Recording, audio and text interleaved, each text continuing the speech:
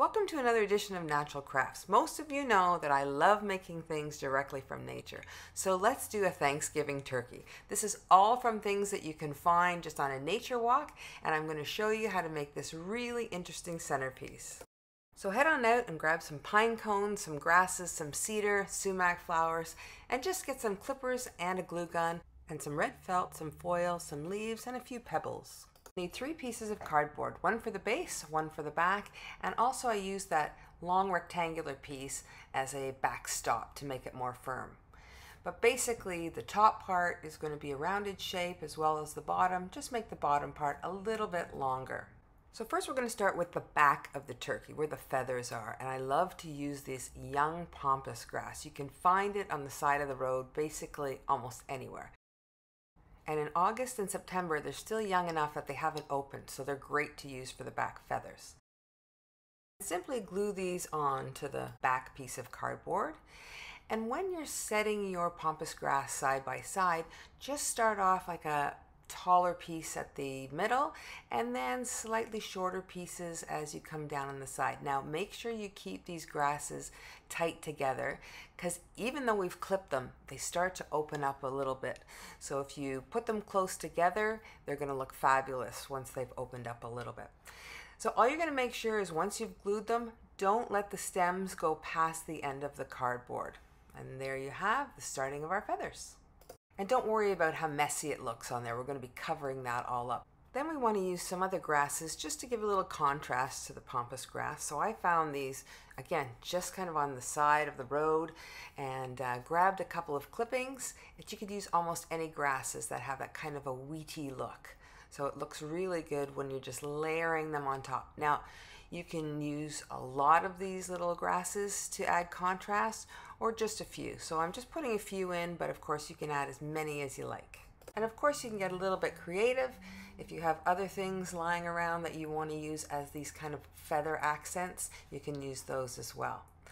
Then the next thing what we're going to do is we're going to add on some cedars. Now, and if you don't have cedars around your house, just head out for a nature walk. You can just clip off a few branches of cedar and I kind of like to dry fit them and make sure that it kind of covers everything before I start gluing it down.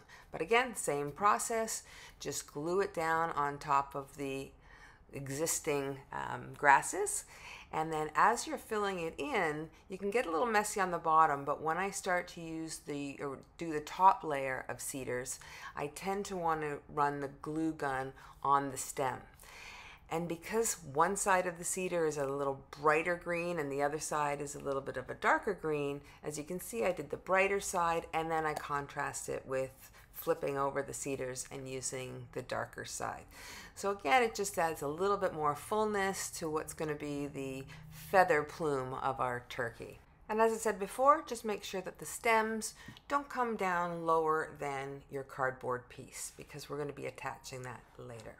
Now for the base. Hopefully you've gone out for a nice nature walk and you found some wonderful pine cones. Again, if you're lucky enough to have them in your backyard, pick some big ones so we can use those as kind of filling in the center base part. So what I've done is I've put in some large pine cones on the bottom and I've left uh, about an inch and a half around the sides and the back because remember we have to attach that back but the reason I left about an inch and a half around the sides is because I want to add in some pine cones that were a little bit more feathery that I found. Uh, they were a little smaller but again I used those big pine cones to start building up the base. So here are these little feather ones that I found which were really really neat.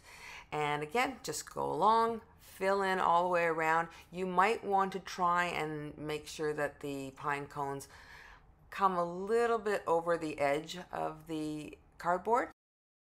So just continue on to fill up the base and make sure you've got all your pine cones laid in. You want to kind of create this mound effect because the body of the turkey is quite large. So we're going to try and create that kind of rounded look. At this point, we can add that back rectangular piece. Now there is still about an inch and a half between the back of the pine cones and where you're adding that back piece because we're going to slide the feathers in between these and that will add as a little bit more reinforcement. So we just glue it, the bottom part along the back And just hold it there until you know that it's on securely. And then we're going to grab our feather plume and we're going to put glue along the back so that it will attach to that backstop and along the bottom so it'll attach to the base. So you're kind of connecting both sides, the back and the bottom. And then make sure that you secure that tightly as well. And what we're going to do later on is fill in some of the space where the feather plume is with a few more pine cones so that it kind of fills in that back area a little bit. And as you can see, I'm snugging them down kind of tightly and a little bit lower than our big mound because we will be adding a few more elements to our plume at the back and this just helps to fill it in a little bit. And now we're ready to move on to create the head. You'll need some felt and some foil. If you don't have any felt, you could use red crepe paper, but I like the felt because it really kind of adds a nice texture. So grab your foil and you're going to just mold the neck part. And I was actually quite surprised at how easy this was to do. I basically did it on my first try and I've never done it before. So give yourself a little bit of uh, leeway because all you're going to do is create that little head piece, the neck, and a base. So I just grabbed a whole bunch together. I kind of just formed, this is why the foil is so great. I just kind of formed the base and then squeezed a chunk together for the neck and then the head. Next, we're going to wrap the foil head in the felt. So cut a generous piece, quite a bit larger than the foil neck that you've created. And if you have to add a little bit more bulk to it, as you can see that I was doing here, once I saw what kind of size I had, I wanted something a little bit larger for the base so that I could fold it over the pine cones. So you can just play around with it a little bit.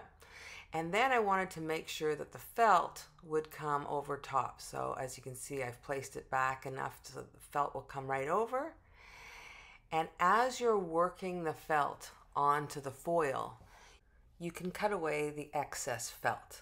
So again, just make sure that you have enough felt to cover everything over. And then you can cut away a little bit as you're going along, a little bit of the excess. And I'm creating more of a long extension at the front to cover that neck and head part. Now we're ready to start the process of gluing. So when you're gluing it on, I just do a very little bit at a time, like almost just a half an inch piece. So I will lay some glue down, add the felt to that, and then continue to put a little bit more glue and add a little bit more felt.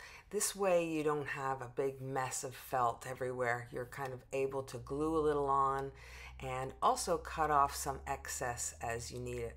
So I start with the base and the front of the neck and I start to fill around the head with the glue and also just pull up the felt just a little bit at a time. So apply some glue, push up the felt, make sure that it's adhered really well because you don't want big pieces hanging off. And again, once you're at a stage where you're covering the head, you might want to clip a little bit of that felt. So that gives you a little bit of ability to wrap it around the neck. And as long as you're taking it bit by bit easily, it's going to add a really nice effect because what the felt does when it sits on top of the foil is it makes it kind of look like that uneven skin that the turkey neck has. So make sure you glue the base down as well to the bottom of the felt and just keep wrapping that felt around the neck. Doesn't matter if there's wrinkled bits as long as it's adhering right to the foil.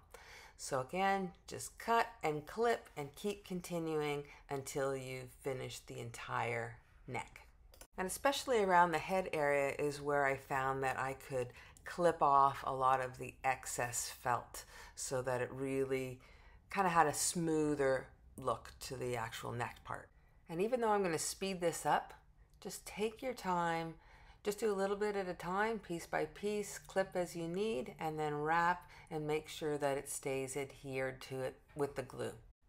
And now that we're almost finished with the neck part, we're going to take that beautiful neck and we're going to take it back to the base of our turkey. And I don't actually attach it on right away.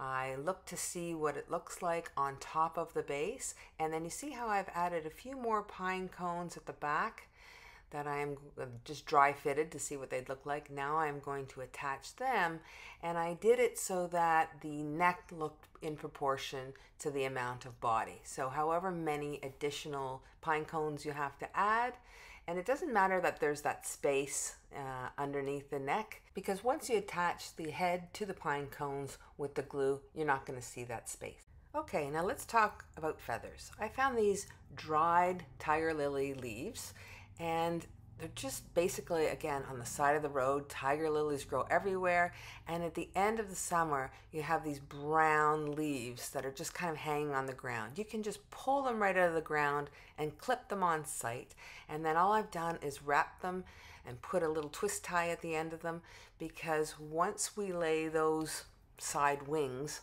onto our turkey i'm going to cover the twist ties with actual leaves that look like feathers as well.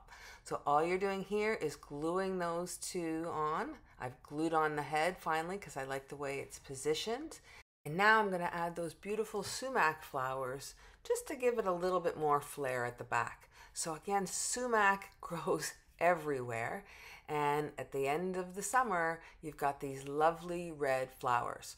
So I just clipped a couple of those off. I glue the ends and I stick them in between the back of the pine cones and where the cedar is. So it just gives it that nice pop of color and they stay nice and red. So however long you want this decorative turkey on display you'll have that bright red color from the sumac flowers and once you've done that, then we can move on to the face of our turkey. So all I did was look for some pebbles and I actually found a stone that looked like a beak. So that's what I used. But you can use anything for the beak. You can use yellow paper or anything that you have that kind of beak shape. But as you can see, I found this great pebble when I was walking the beach. So all I did was put a little glue on and attached it the same thing with the black pebbles for the eyes. I just put a little bit of glue on and you want to put them back a little bit farther at the side of the head because turkey's eyes are a little bit set back so you don't want something at the front or a, little bit uh, offset. And the last thing we're going to do is add the feathers. So these are sumac flowers. Again, in late August, early September, they start to turn this brilliant red color. So while you've gone and picked out your sumac flowers, make sure you grab a few of the leaves. And I just pressed them, so I took them off of their uh, branches and I pressed them down between two pieces of paper towel. Just set them there for about a couple of hours. And then that way, when I went to glue them on, they were nice and flat. So as you can see, I kind of dry fit them to see if they would look good over top of those um, lily leaves. And now I've got them just attaching them with glue. And there you go. Your decorative Thanksgiving turkey will be the talk of the town. So if you enjoyed the video, please give us a like and don't forget to subscribe and ring that bell because the next natural craft and recipes video will come straight to you. And check out this all natural fall leaf wreath. It is super easy. Again, just a walk in the woods to collect some amazing leaves, and you will have an unbelievable fall wreath.